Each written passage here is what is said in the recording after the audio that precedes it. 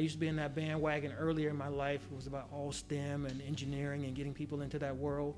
And then when I got to, you know, thinking more seriously and looking closer at things and examining that world, it's no different than the, the rest of the world. There's all kind of isms in, in STEM. There's all kind of ways that STEM provides opportunity, but also puts its foot on the neck of black and brown people.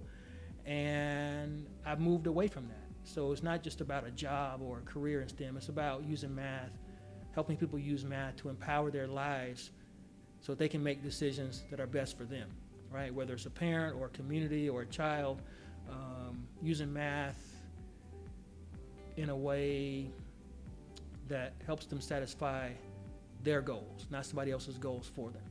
And math is just one tool. You know, it's an important tool because we live in a world where, you know, math is relevant and all that, but it shouldn't be that we sign kids up for math to kind of fit into the system. It should be we want kids to learn math to understand how that system works, right? And what it's doing to them and what is, you know, the good and the bad.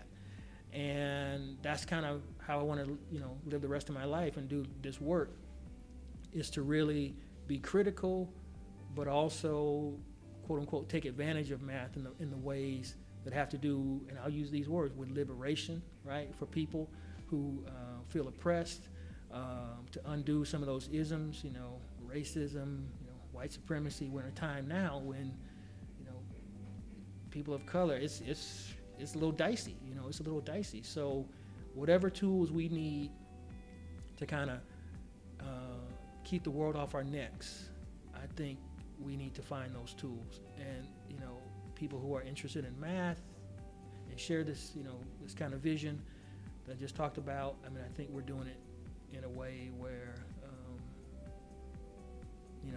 think it, be, it can be beneficial. You know, working with folks, not for folks or against folks. And I think that's important. So that's kind of where I am now. And, you know, I was at a different place later. And then, you know, maybe 15 years from now, hopefully still alive and doing this work, you know, it'll be in that direction of liberation and really trying to help people um, empower themselves for what they want to do in life.